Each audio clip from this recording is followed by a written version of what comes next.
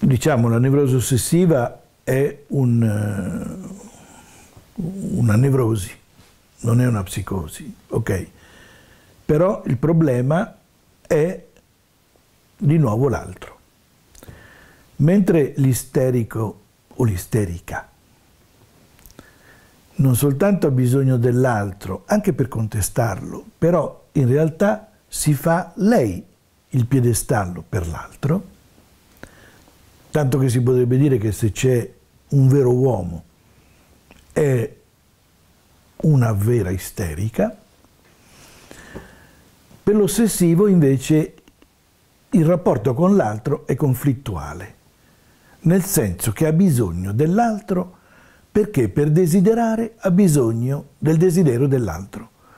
Però lui cerca il suo proprio desiderio e vorrebbe il suo proprio desiderio senza più che ci sia l'altro. E così lui nei confronti dell'altro viaggia su questo amore e odio.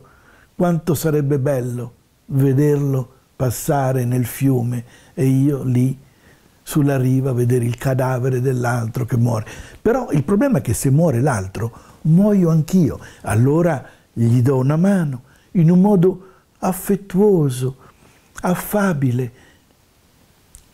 Gli do tutto quello che è possibile per lui, a condizione che muoia il primo possibile.